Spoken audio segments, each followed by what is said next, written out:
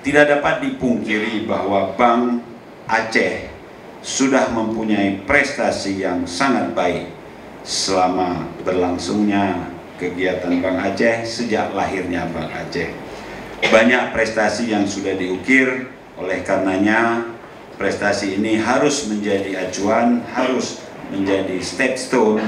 lompatan yang lebih signifikan lagi ke depan agar keberadaan Bang Aceh terasa maknanya, terasa manfaatnya, dan secara terukur mencetak banyak pengusaha dan saudagar khususnya putra Aceh.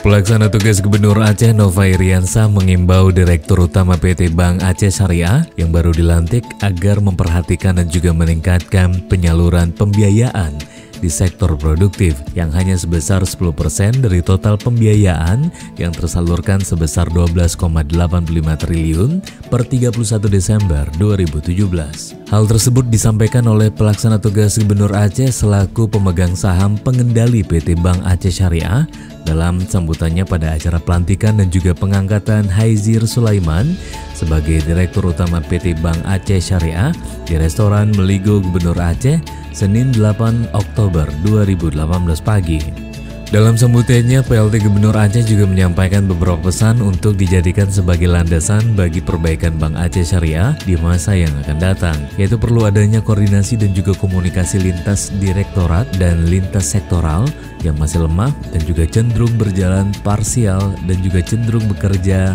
di sektor masing-masing. PLT Gubernur juga berpesan agar kinerja kepatuhan dan juga kinerja IT ditingkatkan dan dioptimalkan agar proses pelaksanaan strategi bisnis berjalan dengan baik. Penerapan IT adalah sebuah keniscayaan Modernisasi bank saat ini adalah sejauh mana kita dapat memanfaatkan IT secara optimal. Nova juga berpesan agar dilakukan restrukturisasi dan juga penguatan terutama pada Direktorat Bisnis, Direktorat Kepatuhan dan juga Direktorat IT agar pengembangan Bank Aceh Syariah ke depan dapat dipacu dengan akselerasi yang tinggi.